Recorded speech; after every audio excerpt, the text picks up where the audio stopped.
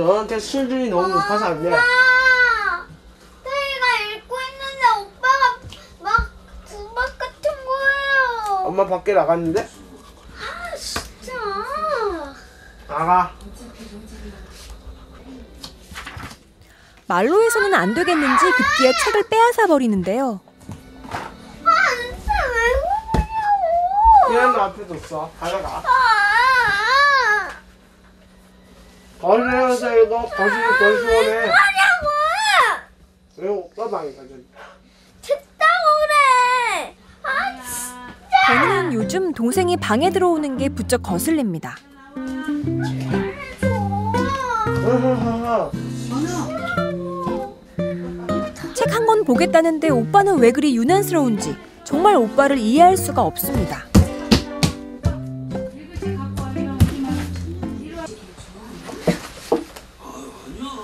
에이구,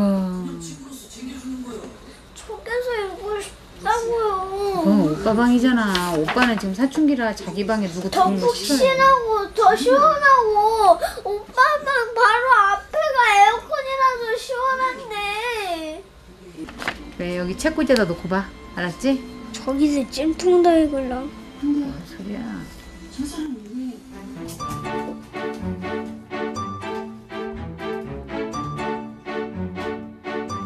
책 읽겠다고 들어오는 동생을 철돈 보완했는데요. 건우가 태희의 방 출입을 막은 건 건우만의 특별한 비밀이 있기 때문입니다. 바로 건우가 아끼는 이 표본들. 건우에겐 그 어떤 보물보다 소중한 것들인데요. 아무에게도 보여준 적이 없는 건우만의 특별한 보물입니다. 진짜 아끼던 애들이라 따로 숨겨놨죠. 되게 깊숙하게. 이게 남들 안 보여주는 거예요? 네. 아직 누구도 본 적이 없어요. 제 친구도. 오. 이 표본들의 어떤 매력이 건우의 마음을 사로잡은 걸까요? 일단 모습이 멋있잖아요. 음, 사슴벌레나 장수처럼 다리 짧고 짧은 대신에 뿔나 있는 것도 매력적이지만 다리가 긴 것도 엄청 매력적이에요. 작은 표본들을 구석구석 닦아주는 건우. 이렇게 소중한 걸 행여나 태희가 방에 들어와 건드릴까 걱정이 돼 들어오지 못하게 한 겁니다.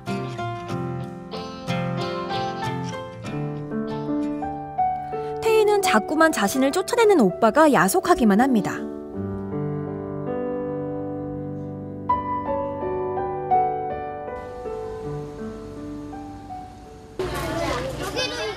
주말이 되자 관람객들이 부쩍 늘었습니다. 건우도 엄마를 돕기 위해 나섰는데요.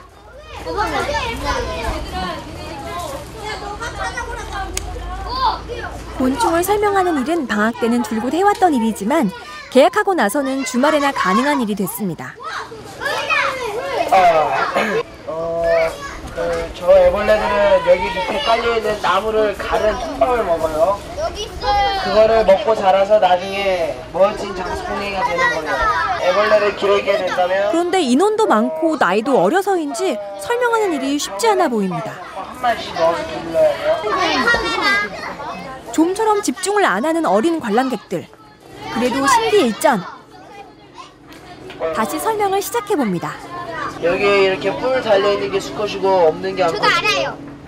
이거 이거 알을 내 아래로 해봐. 힘든 가운데 열심히 설명을 했건만 아는 얘기라는 말로 입을 막아버릴 때면 건우도 힘이 빠집니다.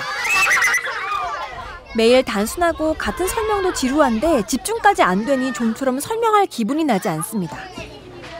알고 싶은 걸 더 많이 설명해주고 싶은 게 건우의 마음인데요. 반복되는 일상이 호기심 많고 탐구적인 건우에게는 좀 지루하게 느껴졌나 봅니다.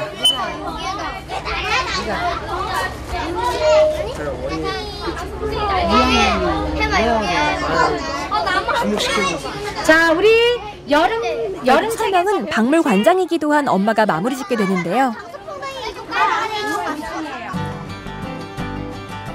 곤충관 설명을 엄마에게 맡긴 건우는 표본관을 찾았습니다. 건우는 거의 매일 표본을 보러 오는데요.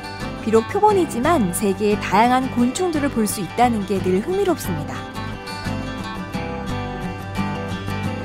곤충 박사 건우에겐 이 모든 것들이 다 연구 가치가 있는 것들인데요. 요즘 건우는 부쩍 표본에 관심이 많아지고 있습니다.